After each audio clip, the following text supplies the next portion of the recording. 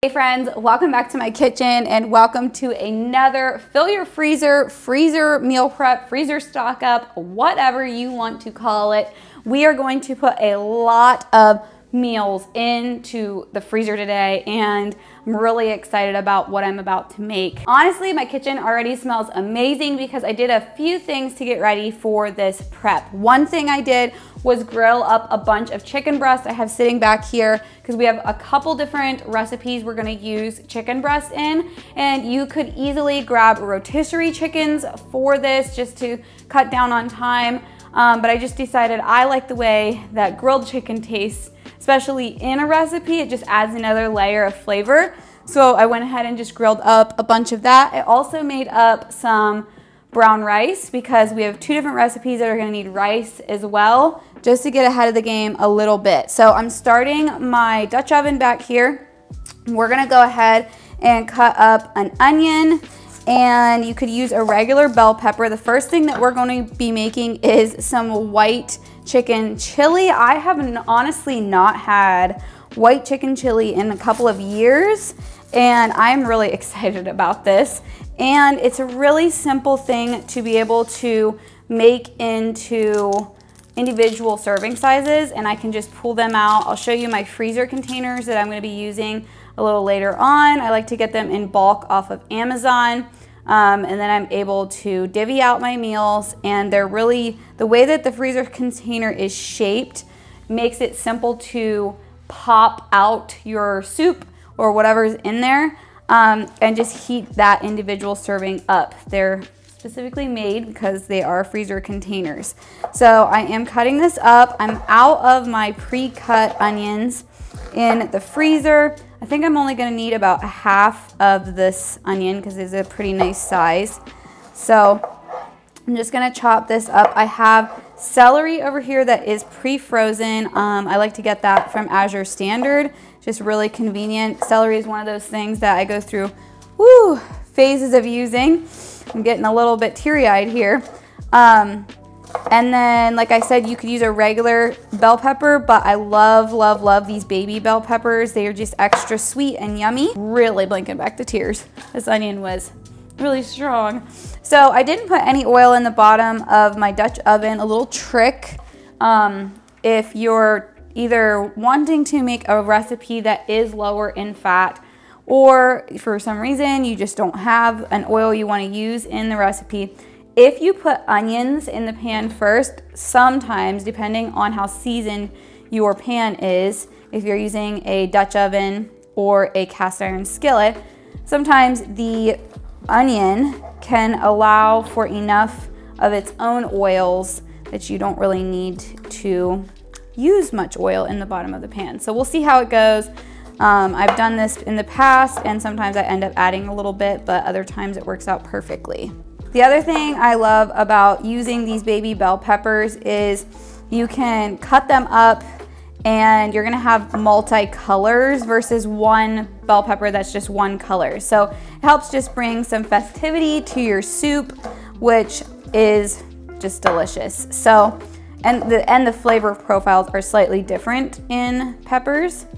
So it's going to bring extra flavor as well. So I'm doing roughly about a half cup of each of these things, the onion, the bell peppers, and the celery in the bottom of my pan. And then I'm going to be just stir frying those veggies to get them to soften up. While they're doing that, we're gonna go ahead and make the rest of our sauce, or like the sauce part of this soup in the blender because it has a little bit of a secret ingredient.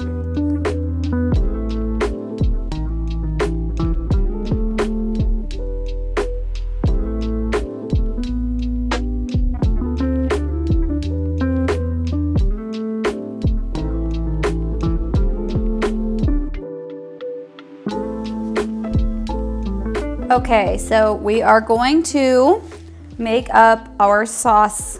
Keep saying sauce. It's actually just the base of the soup.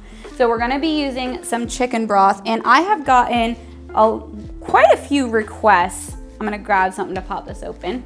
As I was saying, I've gotten quite a few requests to do some more dairy-free friendly um, recipes. I do try to give a lot of gluten-free friendly recipes since we have a sensitivity in our household. Not all of the recipes I do are gluten-free.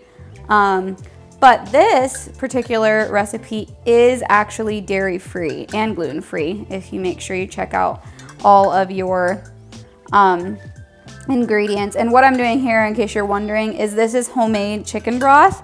And I want it to be um, a little on the lower fat side, so I'm actually taking and scooping out the fat that's sitting on top of the broth because it does separate um, after a while.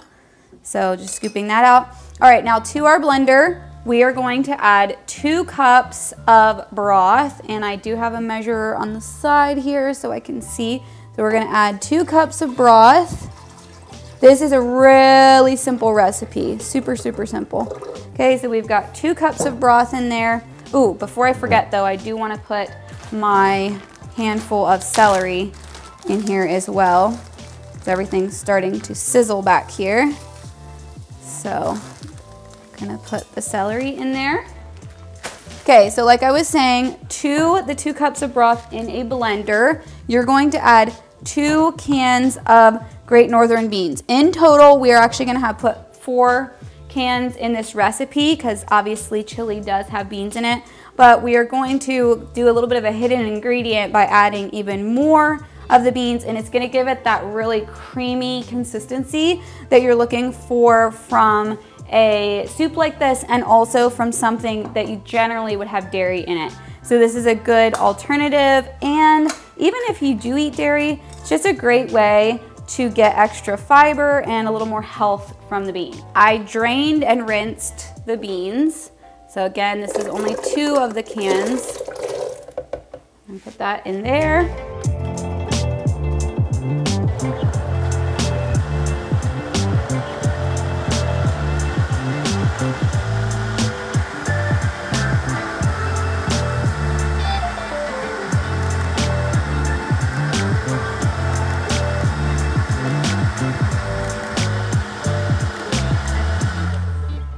Now before we add in our bean mixture and the uh, rest of the ingredients, I'm just going to make sure that these are as tender as I'd like. So we're just gonna keep stirring them and it is working with the onions. I didn't add anything to the bottom of this and they're doing great.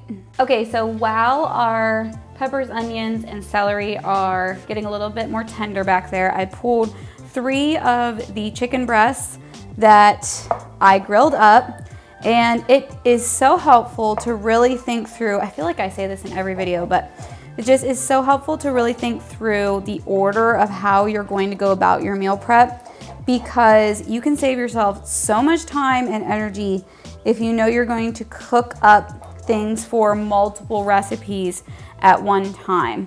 And so all I did with this chicken is I used a dry rub. I actually used, guess what guys?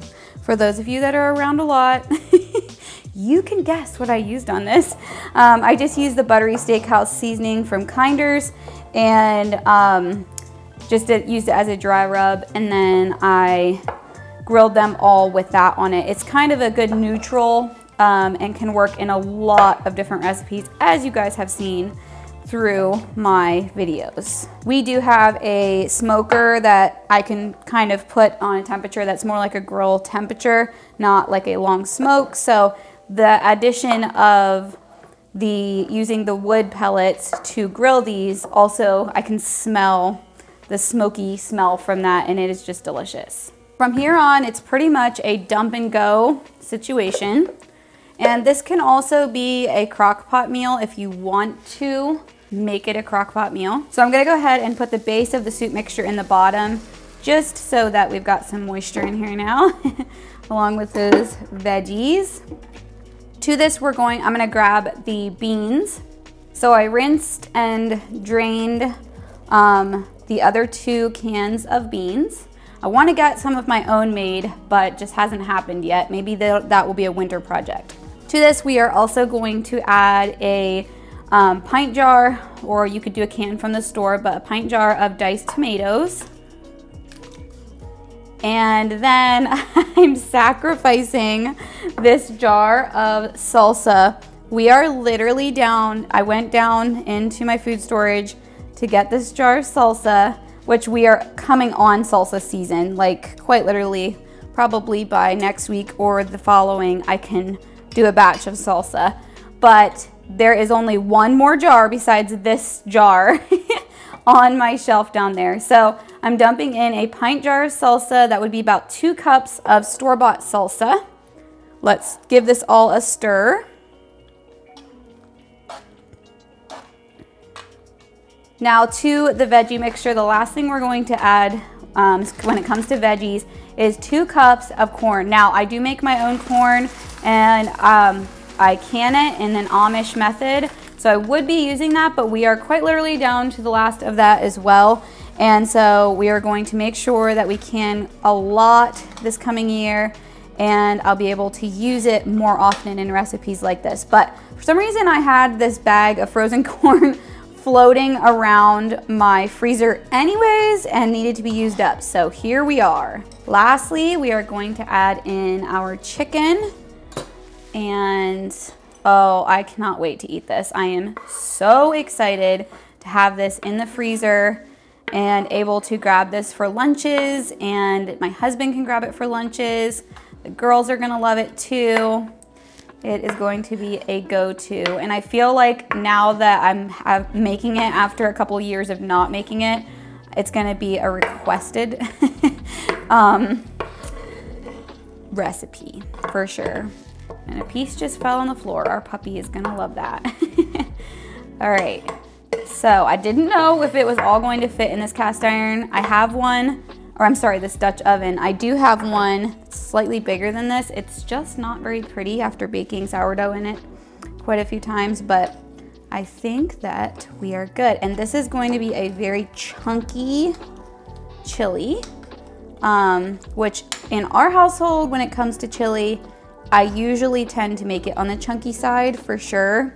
It's just more um, what we prefer instead of being more of a brothy soup. So this is perfect. We're gonna let this simmer and we're gonna add in our spices. All right, so to this, because I know you all love measurements and I'm terrible at just dumping and going when it comes to spices, um, we're gonna add a teaspoon of mineral salt or pink Himalayan salt or pink salt or whatever you like to call it.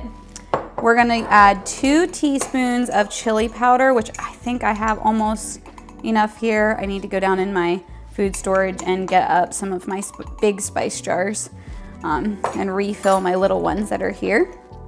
And we're going to do the same with the cumin. Two teaspoons of cumin in here. And then we are going to do a teaspoon of each onion powder and garlic powder. And I love these containers. It's kind of a running joke in our house because my husband does not like them. I think that they're great for cooking, but he's more of the grilling meat kind of guy in our house. So he would prefer them to be in shakers. So I might need to make an addition of some shakers in our house of just like some of the staples he uses so that he can use them.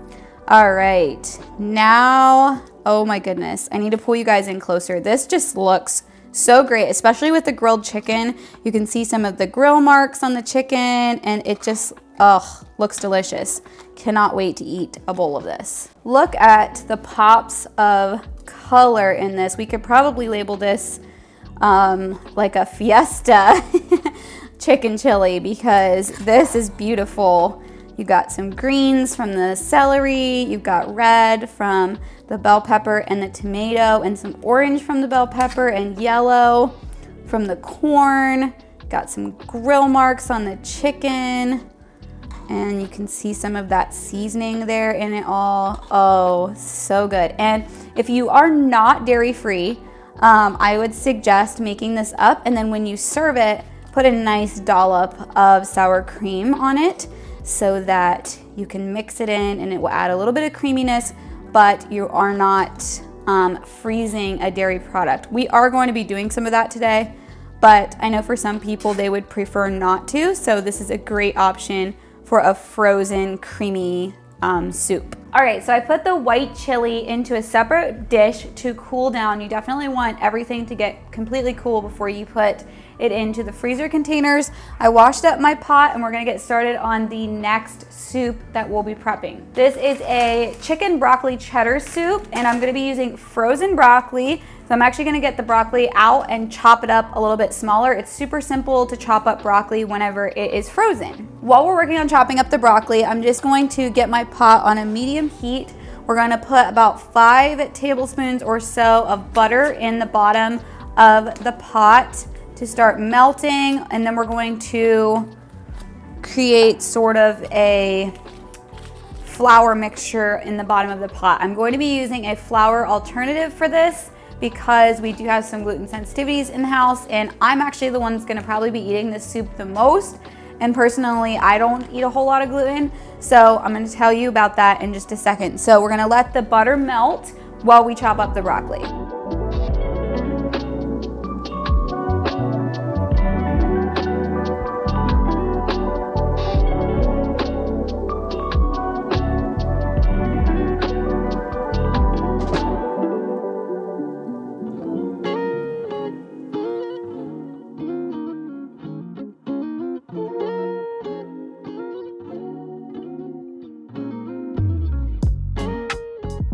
The butter has pretty well melted and I'm going to put in a whole onion chopped small. And we're just gonna let this kind of simmer in here for just a little bit until the onion is somewhat transparent. This is about two pounds of broccoli chopped up into more manageable bite-sized pieces for soup.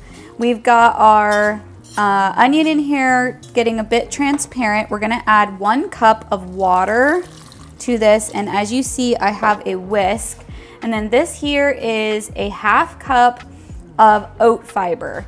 And oat fiber is a gluten-free um, kind of flour alternative and it does really well at helping to thicken things as well. But if you wanted to just use regular flour in place of this, you totally can. It is pretty well um, interchangeable in this recipe. I'm gonna let this simmer for a little bit until the onions are cooked just a bit more before adding more ingredients. All right, I promise we're not going to use the blender for every recipe in today's video, but we are gonna use it again. Before we do that though, I'm going to go ahead, I did put one cup of chicken broth in here. We're gonna need a total of five cups. So here we've got about four more cups added to the onion mixture. And to that, we're going to put the broccoli in. We just wanna cook the broccoli up until it's a little bit tender and ready to be eaten in the soup. So we don't want it too crunchy and obviously it's a little icy right now from being frozen. So we're just gonna let that cook up. Now, to make our cheesy mixture, because obviously this is a cheddar broccoli chicken soup, we are going to, in the blender, combine three cups of cheddar cheese. And I did shred this myself. It always melts better. There isn't any coatings or any powders added to it. And this is the cheddar cheese that I've been getting from Costco that you all have seen. To that, we are also going to add two cups of water. We're gonna add a cup of cottage cheese. And all of these things are gonna help this be really thick. You know, whenever you get a good cheddar broccoli soup and it's got a good thick cheesy mixture or texture, I mean, um, we're trying to achieve that by these combinations if they seem a little funny. We have a cup of heavy cream. And to this, we're also gonna add two cloves of garlic. I could mince this and add it to the soup, but since I'm already blending all of this together, I might as well throw it in there. I also have a small handful of fresh parsley from my little patio garden, which is going to add another fantastic flavor. We're going to add some xanthan gum. Again, you could add a little sprinkle extra of flour. This is just another gluten-free thickener. We're gonna add half teaspoon Put that right in there. Now you can just kind of season it how you would like it. I'm just gonna add in some extra garlic powder and some nutritional yeast. If you don't know what that is, it's high in vitamins and it's super great to add to different things. Plus it's actually yellow, so it's going to help amp up the yellow color. I'm just gonna add a few teaspoons of that and you can decide how much you wanna add. I enjoy the flavor. It has a kind of a cheesy flavor. A lot of people that eat vegan actually use it as a cheesy alternative on popcorn and other things like that. And then we are going to also put some black pepper in this. I think I'm out here. I think I was out with that thing the last video. I need to get that refilled. I've been kind of cheating and pulling from my shakers here. All right. And then we are going to blend this all together until it's a smooth, cheesy type consistency.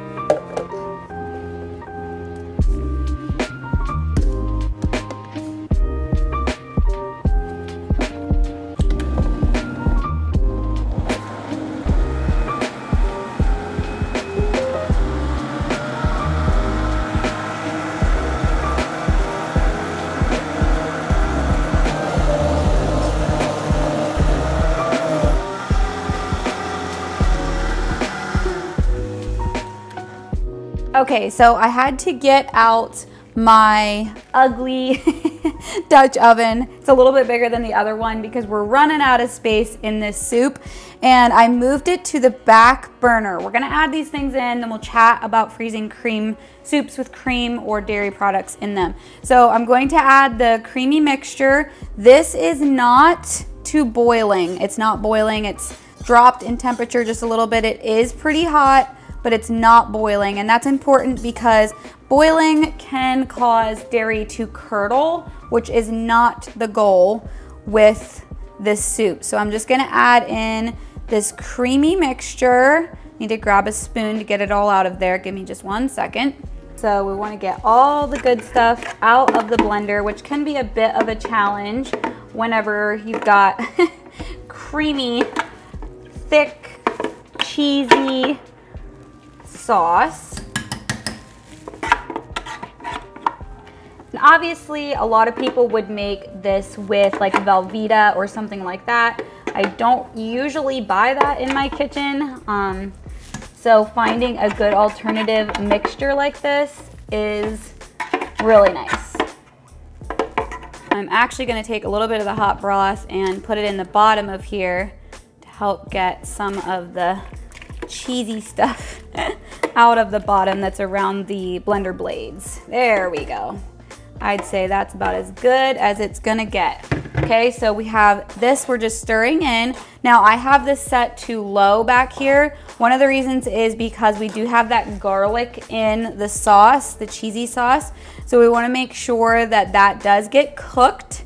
And I took three of the chicken breasts that I had grilled up earlier. We're gonna add this in as well just to give nice protein and obviously some more flavor with that smoky flavor from the chicken breast. I did cut it up fairly small, very small diced pieces just because um, the broccoli is cut small. We just want it all to be pretty similar in size. So we're just gonna let this on low while we start into the next recipe. Back here we have the cheddar soup and it is just kind of simmering away, letting it slowly, slowly cook that garlic up that was blended in there and combine all of the flavors.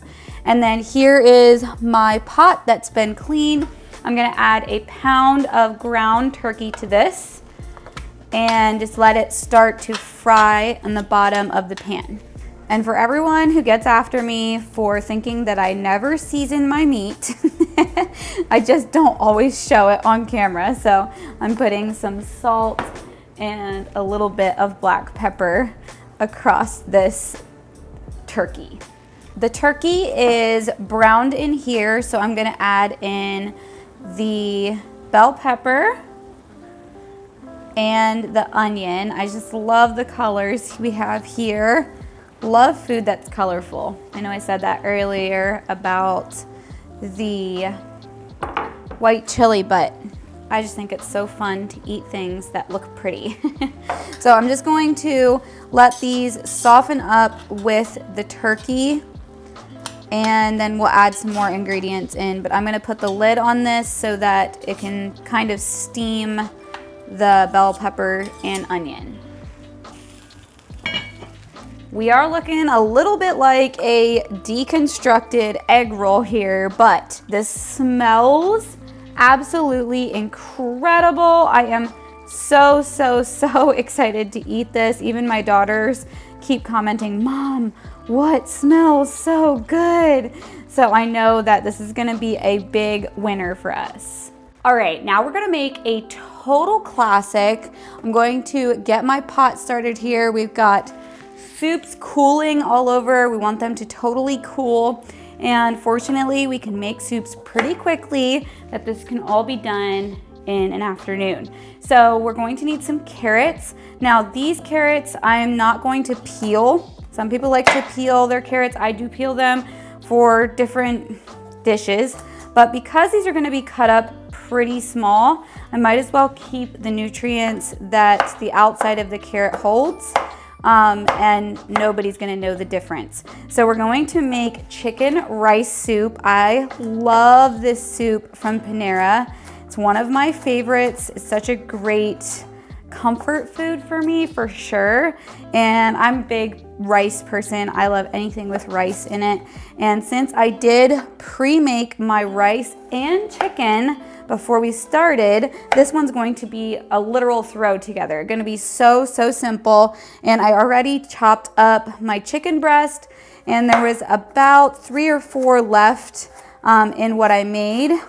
And I also cut up a purple onion because I'm out of my other onions, but I happen to have a few purple onions left and I'm going to use that up in this recipe as well. When it comes to making soups, just making sure that everything will fit well on a spoon when you think of what size to cut things at. That's what I always think of. Will it fit on a spoon?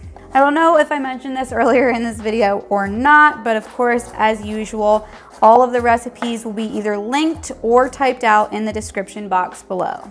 So while I finish chopping the carrots, I'm going to put my onion that's diced fairly small into the bottom of my pot back here. We're gonna get that frying along with my pre-chopped celery out of the freezer. Put that in there and we'll get everything kind of stir frying in the bottom of the pan. I think that soups turn out the best if you can kind of saute your veggies in the bottom of the pan. You keep all the flavor, you don't lose any flavor, and you're able to create a great base for your soup.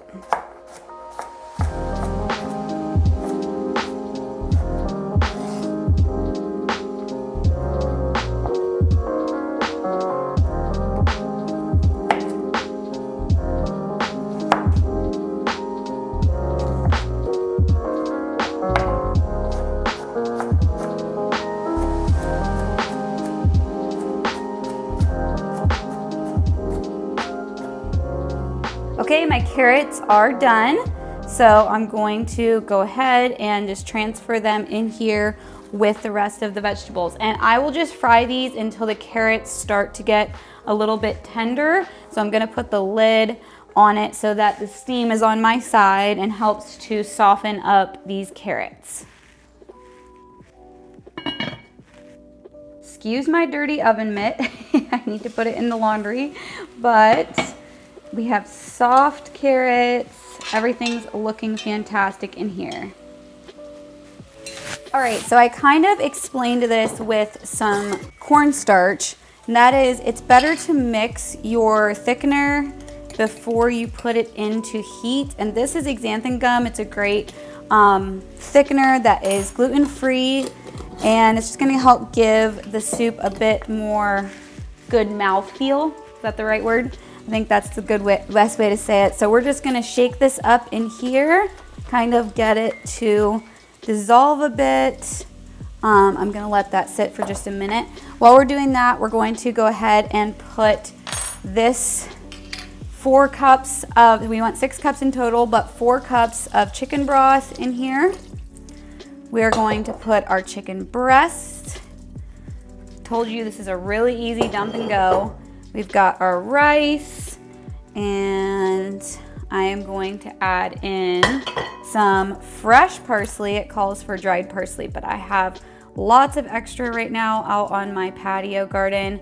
And why not, right? Why not get a full punch of flavor from fresh herbs while they're in season. And I always like using scissors. I use scissors for so many things. If you guys have watched for a while, you probably already know that.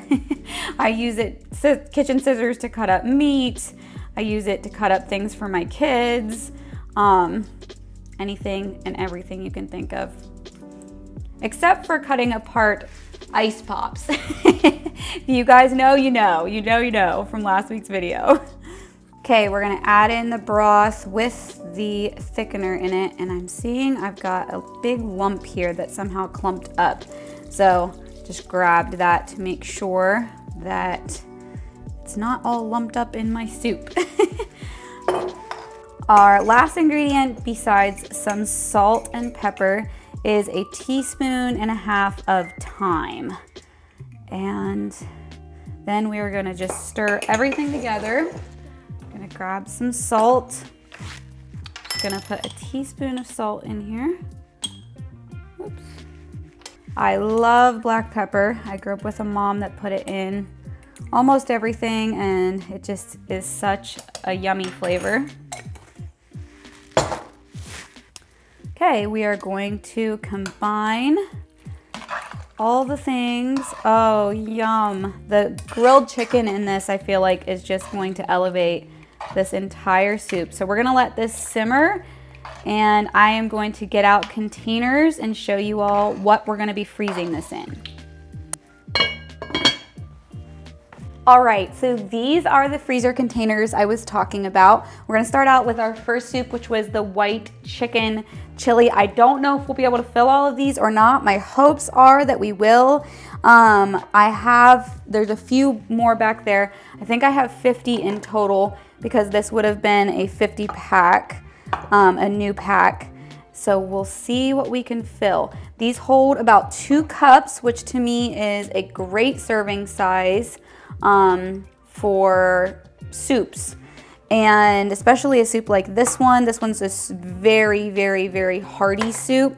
Now, in my count of how many servings I'm getting out of all of this, we have eaten some today while I was cooking things, so I'm sure it's not gonna be the exact number of containers I have here.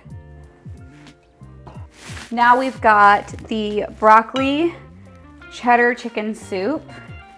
And I'm gonna hold this up here. I am washing out my measuring cup that I'm scooping this with in between soups.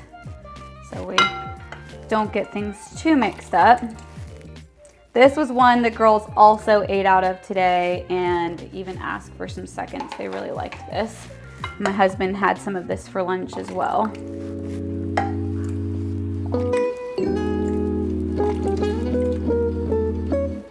All right, now we've got the stuffed pepper soup. I'm gonna fill these with.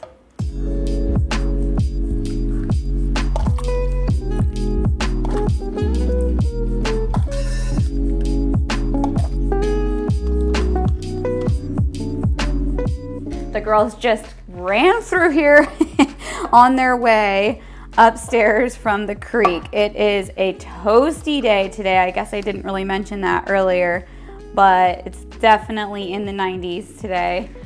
So great day to be in the kitchen and stay cool in the AC. So this is the Asian inspired, um, I don't know, I wanna call this more like a stew. It's a little thicker than a soup. These are all pretty hearty soups, I would say.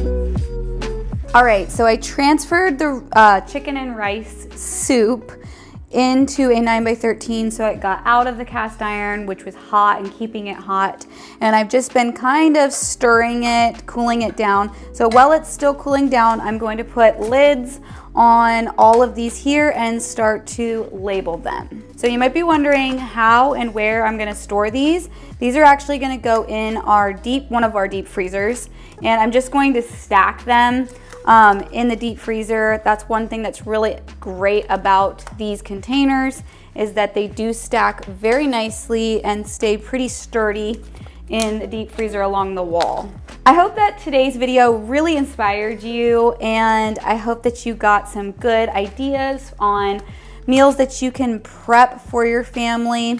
I'm going to put probably the total amount of meals in the description or maybe I'll put it in a pinned comment in the comments, which leads me to please chat with me in the comments. I love hearing from you all, love hearing the things that you're working on or ways that you um, enjoy using my channel to get ideas for food that you can cook for yourself. Don't forget to subscribe if you're new and I will see you all in the comments.